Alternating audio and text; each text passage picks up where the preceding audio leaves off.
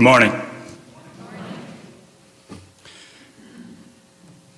Whether you're a longtime attendee or here as a guest, welcome to this historic house of devotion. As we come together for worship and partnership, we are delighted to have each of you here with us. Gathering is a part of community of faith. Let us reflect upon this magnificent autumn day. Let the change of the seasons with the artistry of this earthly beauty be just one sign of God's unlimited creativity that we are happy to share together in this time and place. Let us nurture this awe-inspiring earth as God's earth has nurtured us now and in the days to come. Friends, let us rejoice in this day.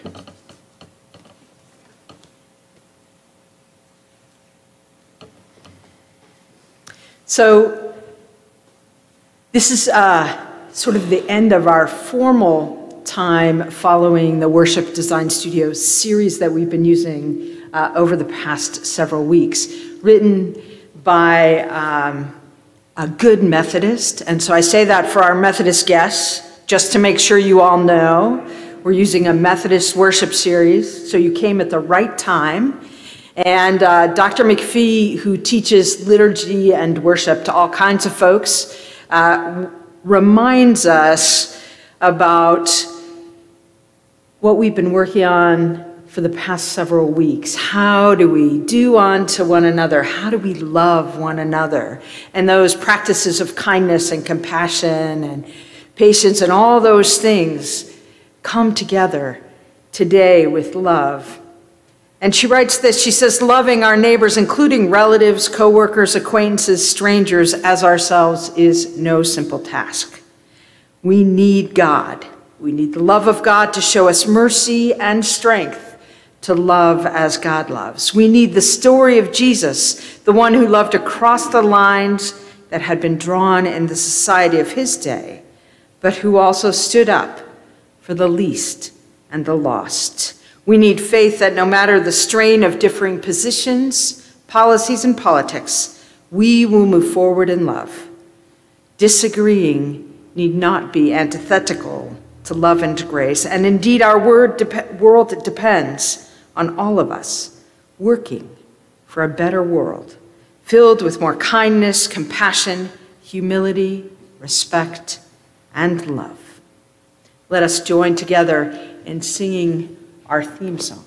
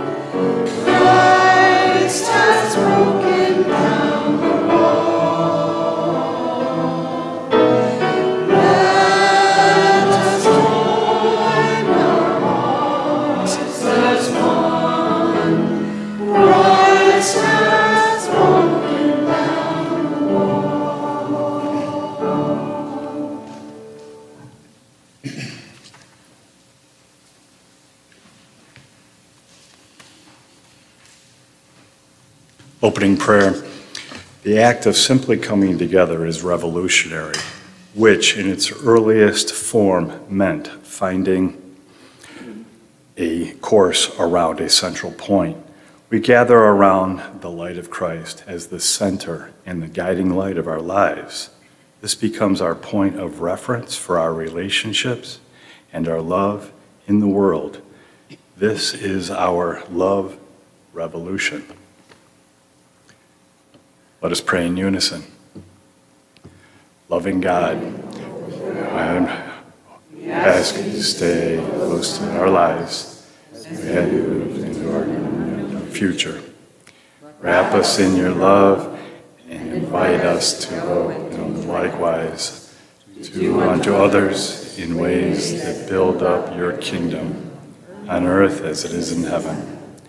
We pray in the name of Jesus, the center that holds, and the power of the Spirit that transforms. Amen.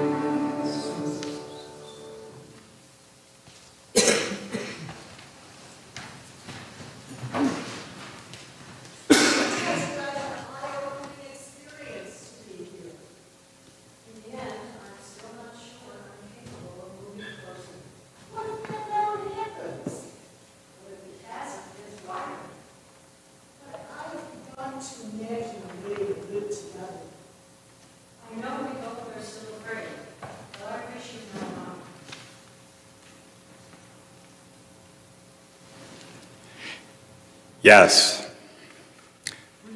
Breathe. Let us imagine this kind of outcome. Breathe again. We are not alone. Christ is with us. Let us take a deep breath together. But the rhythm of our breath and the heartbeat, the rhythm of our breath and heartbeat is the same. Our desire for life and love is the same. Our desire for peace in which we flourish is the same. Let this moment permeate our souls and let us pass the peace of Christ between us. The peace is meant for all people. The peace of Christ be with you. And also with you.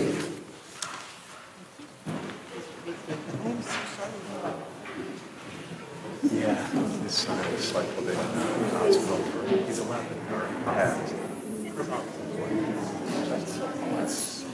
is. You know, uh, brutal. Absolutely brutal. You can stay. Okay. Or you can sit with your. So thank you. I got through it. You did, you did great. You not only got through, but you did great. Cue it up. I'm glad you came. Thanks for your help.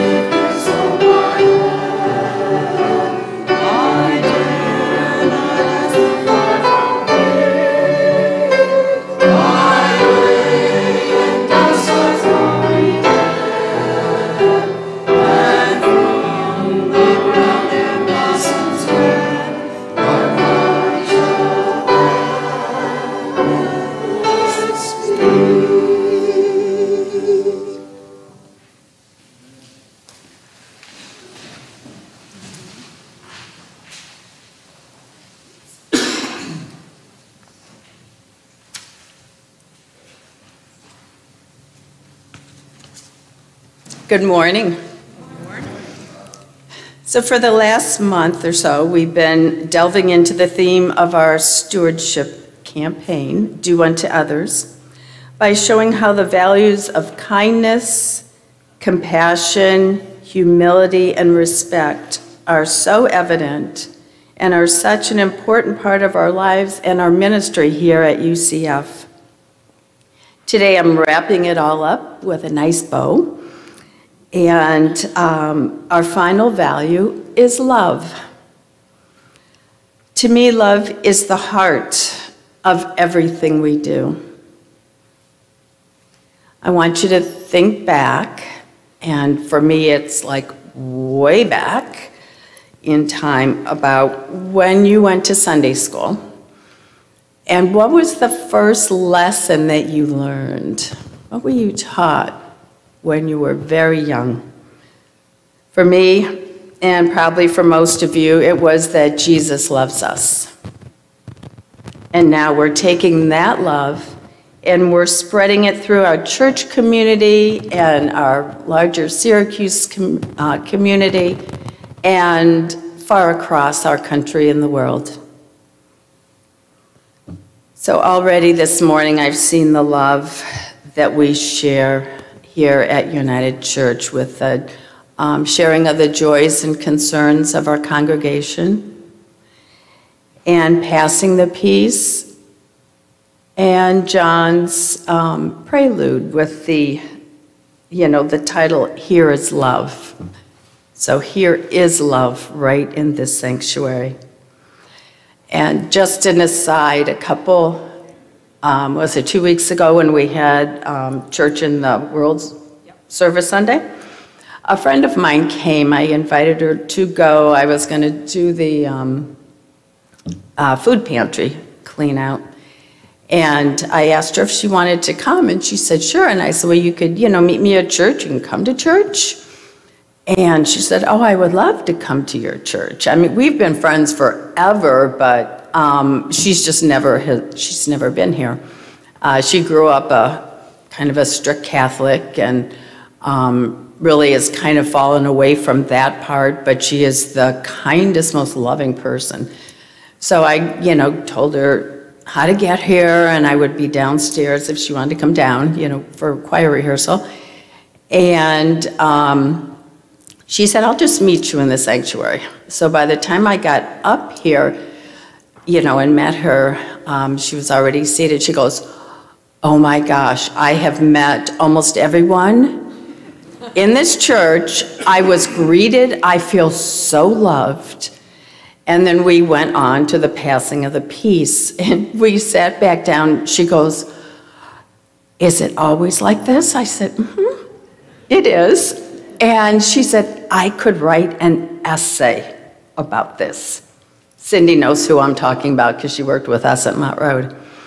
Um, but she was so impressed by the love that she experienced in the first five minutes that she was here.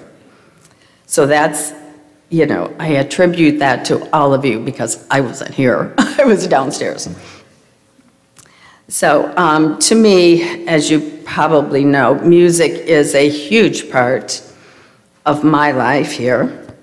And it's a way to feel and express love.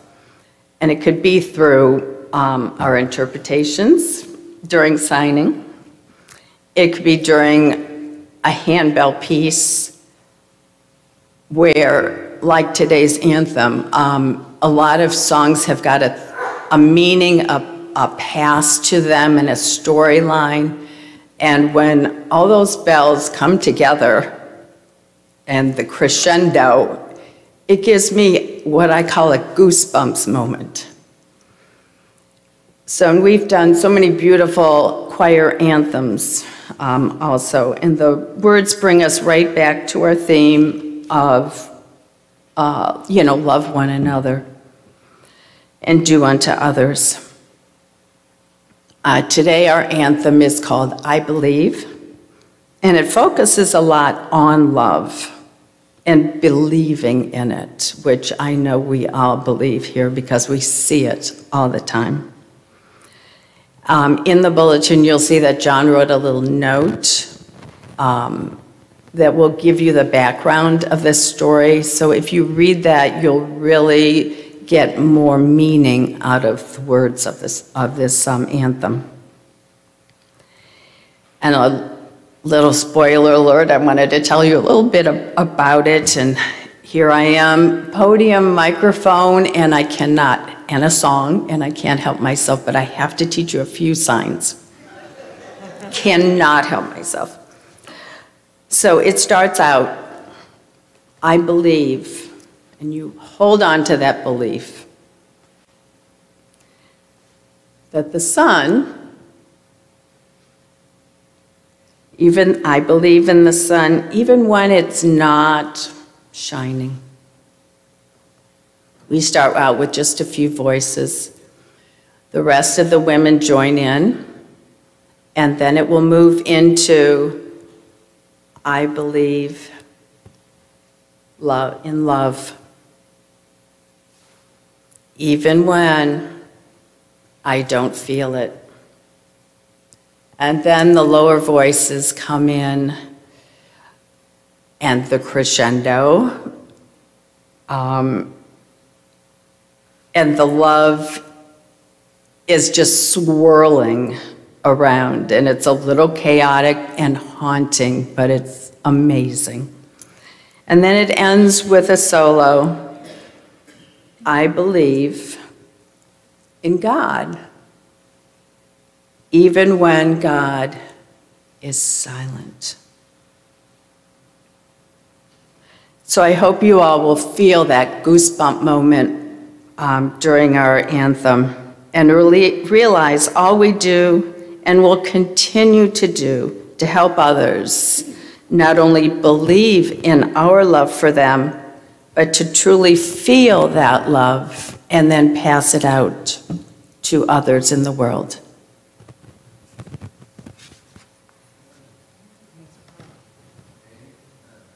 Amen.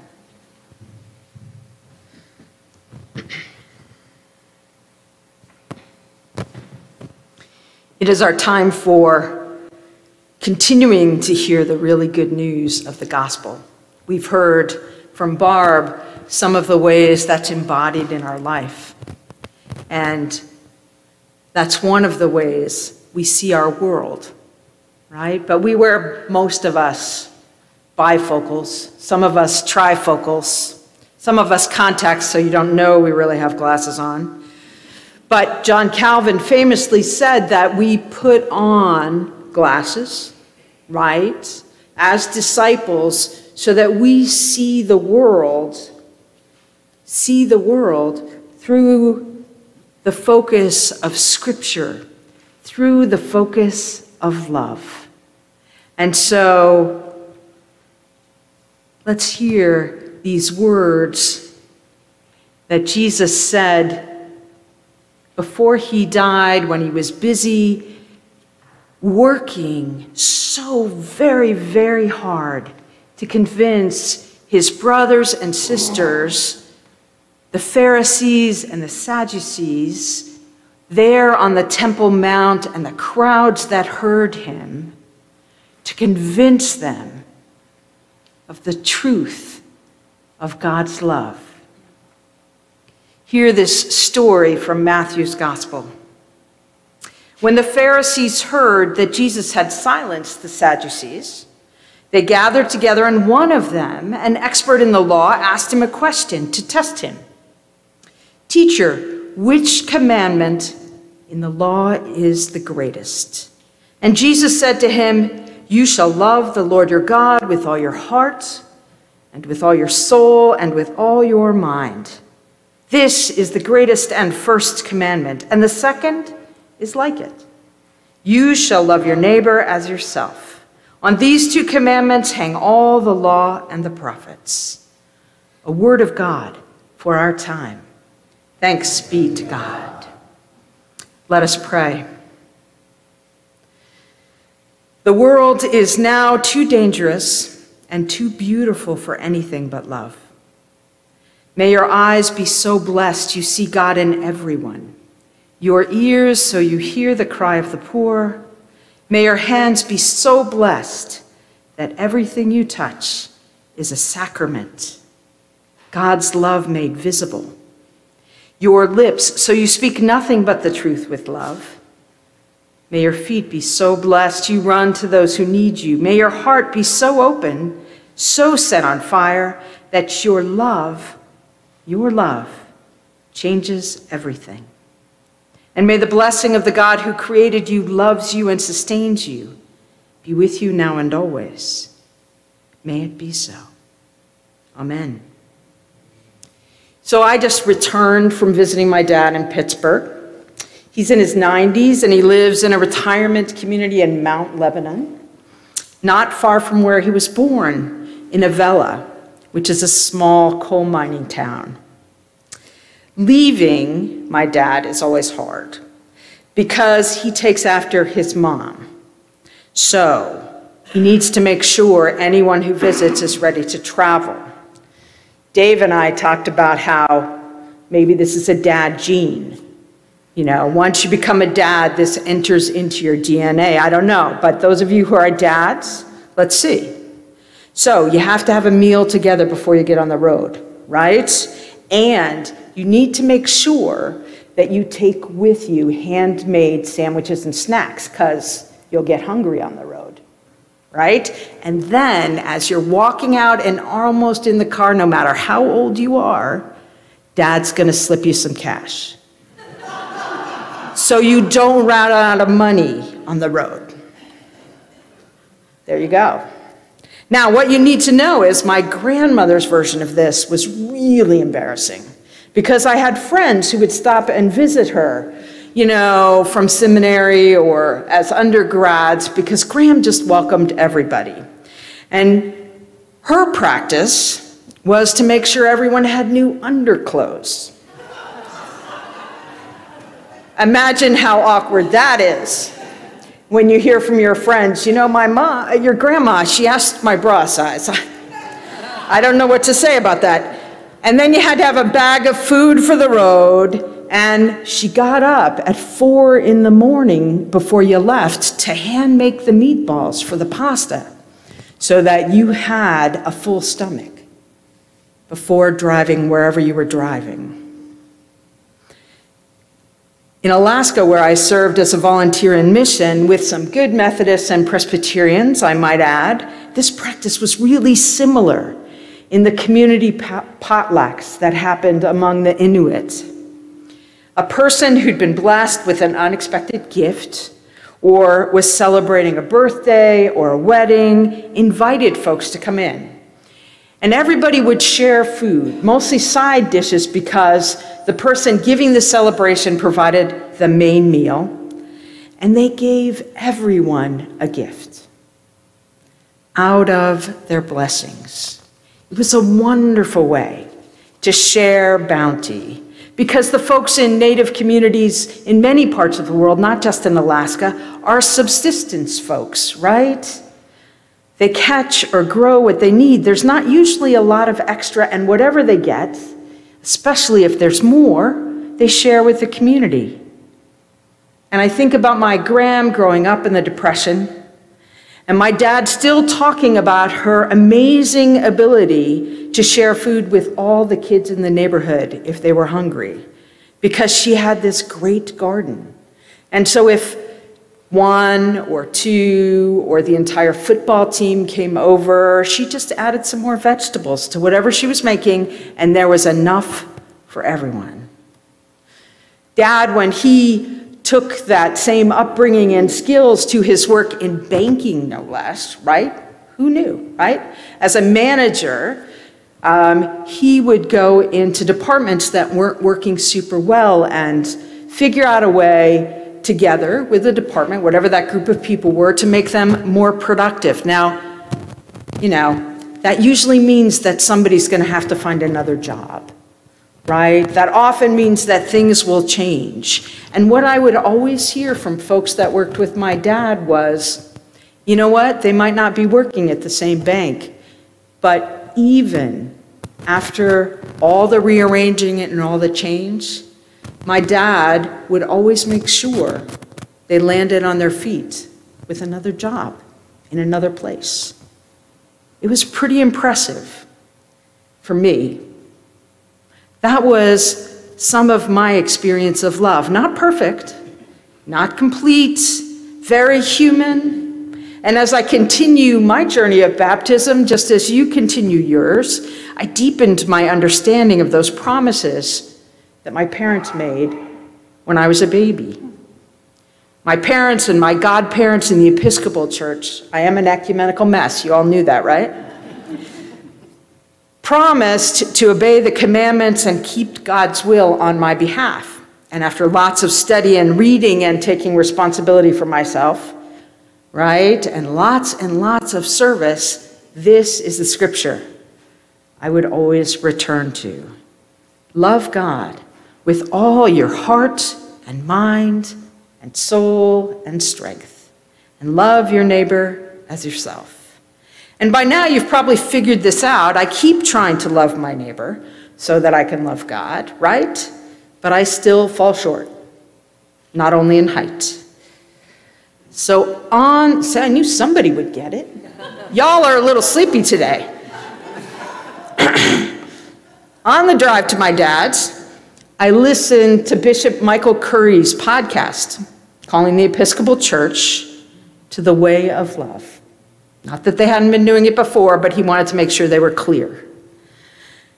To a rule of life, an ancient monastic practice that isn't so much about setting rules to be obeyed as reminding you what's really important so you could keep coming back like a touchstone. Because it's easy these days to get off track. To a rule of love, a rule of life that focused on love. And for those who don't know Bishop Curry, you've heard him, many. He served as the presiding American bishop for the last few years and most famously preached a sermon on love at this tiny little wedding in England between Prince Harry and Meghan Markle. Nobody was there um, or paid much attention to it, but he was the guy. And here's part of what he said He said, Think and imagine a world where love is the way. Imagine our homes and families where love is the way. Imagine neighborhoods and communities where love is the way. Imagine governments and nations where love is the way. Imagine business and commerce where love is the way. Imagine this tired old world where love is the way when love is the way, unselfish, sacrificial, redemptive. When love is the way, then no child will go to bed hungry in this world ever again. When love is the way, we will let justice roll down like a mighty stream and righteousness like an ever flowing brook. When love is the way, poverty will become history. When love is the way, the earth will be a sanctuary. When love is the way, we will lay down our swords and shields down by the riverside to study war no more. When love is the way, there's plenty good room for all of God's children because when love is the way, we actually treat each other, well, you know, like we're family. When love is the way, we know that God is the source of us all and we are brothers and sisters, children of God. He concludes, My brothers and sisters, that's a new heaven, a new earth, a new world, a new human family, no matter what is going on. Now, the important thing to know here is that the way of love isn't just for Episcopalians. It's not just for young couples that happen to get married in Windsor Castle. It's not just for dads or grandmas, although dads and grandmas have a pretty good lock on that, or the Inuit of Alaska. Nope.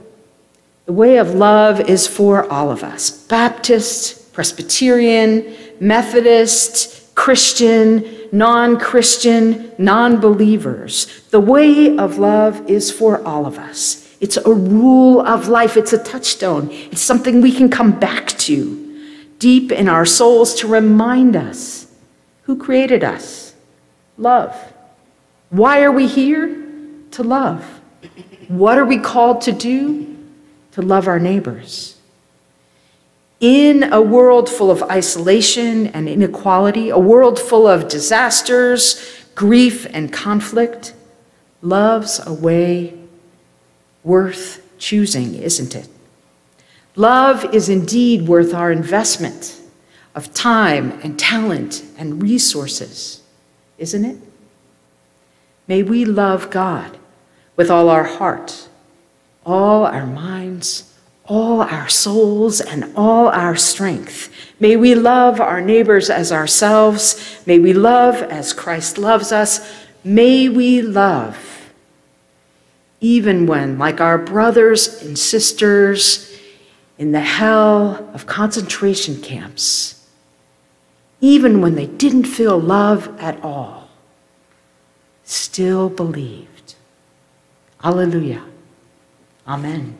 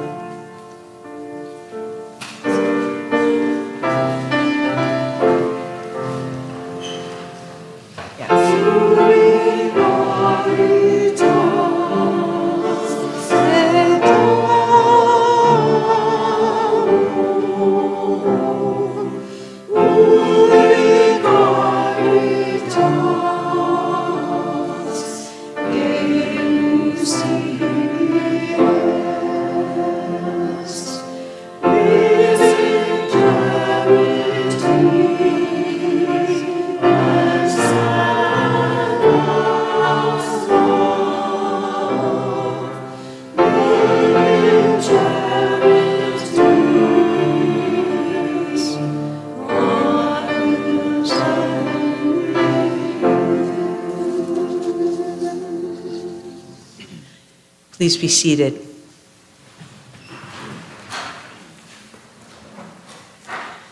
It is our time to raise our prayers to God, both in silence and in spoken word. Each of us, beloved, each of us offering a different way, a different story of looking at our world. We come to prayer today as those whom God loves deeply despite our flaws and sometimes failed attempts at loving others. We come knowing that without the capacity to love, we are without capacity to hope.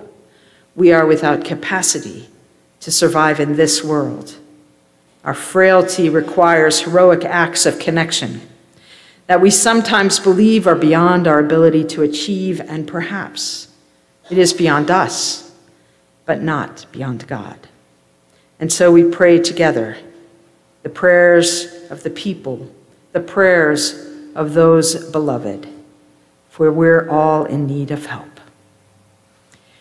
We pray for your guidance for ourselves and others. We pray for the ability to hope against hopelessness for ourselves and others. We pray for the spiritual capacity for love for ourselves and others. We pray for mercy when we fail for ourselves and others. Holy and loving God, we lift our prayers for a world that has trouble believing and trusting in love. We pray for a world that feels some days as if all we do is yell and fight. We pray for our world that you have given us. We pray that the way we give thanks to you for all that you have given us is to choose love, in spite of evidence that it might not work. To choose love, in spite of evidence that it might not make us enough money. To choose love, in spite of evidence that says sometimes it won't produce change. To choose love, knowing that you chose love. You chose love in the greatest gift of your Son, Jesus Christ, to each one of us, and you choose love each and every day through the gift of your Spirit to each of us gathered here. And so we pray for places far away where people are struggling with disaster and war. We pray for those leading. We pray for those offering relief and support. We pray for those who have lost loved ones. We pray for our nation as we seek to discern your will in the coming days, to discern a leader for us who will lead with love and compassion. We pray in elections, big and small, that we will select leaders with wisdom, leaders who have chosen to love. We pray that you will guide us as a nation, that we might find ways to love one another. We pray for guidance in our churches and our communities that we might truly choose the way of love and shout it from the rooftops, not so much with words, maybe, but through service, through food, through housing, through those concrete, tangible, things that we do with all our gifts and talents that can make such a difference. We pray that you will grant us the melody that will raise the hairs on the back of our heads. Give us all goosebumps because no matter what, no matter how scared we feel, we can take a chance and choose to trust and believe in the love you have given us through God. Let us join together in the prayer your Son taught us, saying, Our Father, who art in heaven, hallowed be thy name. Thy kingdom come, thy will be done, on earth as it is in heaven. Give us this day our daily bread. Forgive us our debts as we forgive our debtors and lead us not into temptation, but deliver us from evil. For thine is the kingdom, and the power, and the glory, forever. Amen. Let us bring our gifts to God.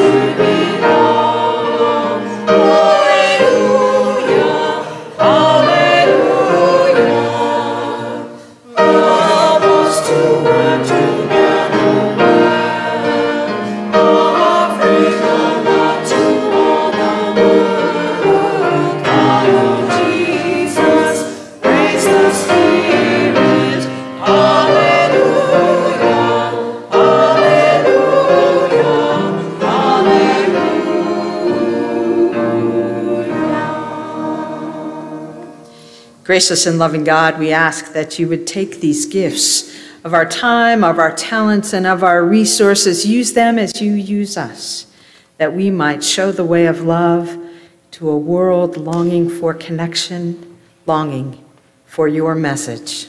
Amen.